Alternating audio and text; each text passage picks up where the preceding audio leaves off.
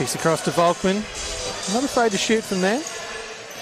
Lachlan Dent, floater from the free throw, gets that one to go, opens the account early.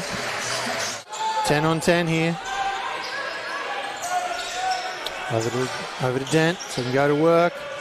Double team, gets the floater up and in. Tembior.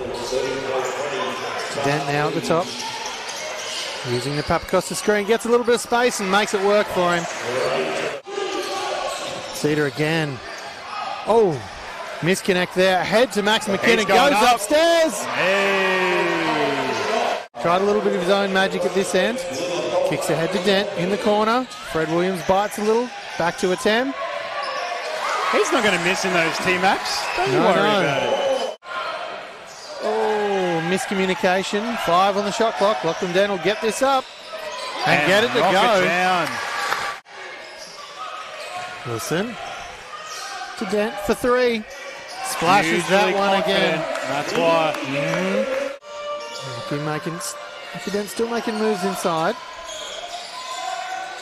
G-Pap for three. Oh. Splashes that one down too. But Caps now with the ball looking to push forward. Lachlan Oh. Dent, the little man, finds, his, finds himself inside with no one around that's, him. that's inexcusable for the Spartans. And if Bior. looks to the middle, there's a bolt. There it is. Yep. Dent, who hasn't always been successful from that corner. He's got some bad memories in that corner. What else do you want? And Harry Ruledeff has Other checked out of the game. to stay here longer.